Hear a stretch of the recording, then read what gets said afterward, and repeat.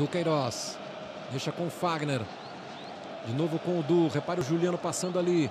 O Du prefere o lançamento lá para o meio da área. O desvio do Paulinho.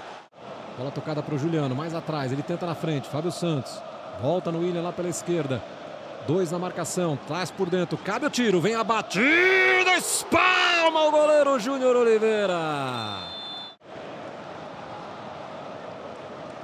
Duqueiroz. Saiu mal, foi desarmado, a bola sobrou para o João Carlos, rolou para o Léo, vem a batida, assustando o Cássio.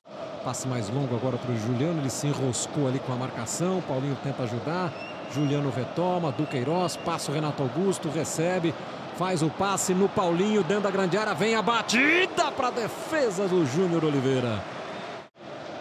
João Vitor, Fagner, Tentativa da bola longa, acabou dando certo, né?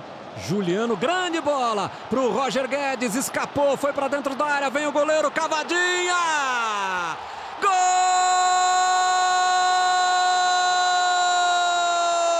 Os zagueiros da, da, equipe do São Bernardo são muito lentos, muito pesados para recuperação. Quando eles saem para o bote e erram o bote, eles criam. É bonito ali do Duqueiroz para o Renato Augusto que sai com liberdade, sai com espaço. Roger Guedes está aqui na frente, bola para ele, dominou, vem o goleiro, está batida! Gol! Com espaço, com a defesa do São Bernardo voltando. Vitinho para a entrada do 20 Ravanelli. E olha a roubada de bola do Corinthians, a enfiada do William aqui pelo lado esquerdo. Chegou Fábio Santos, o cruzamento, a bola desviada. Roger Guedes, pênalti! Tá autorizada a cobrança. Lá vem o William. Pé direito na bola. Partiu a batida e o gol! É, o William faz o terceiro gol do Corinthians. Salustiano bota lá para o lado esquerdo.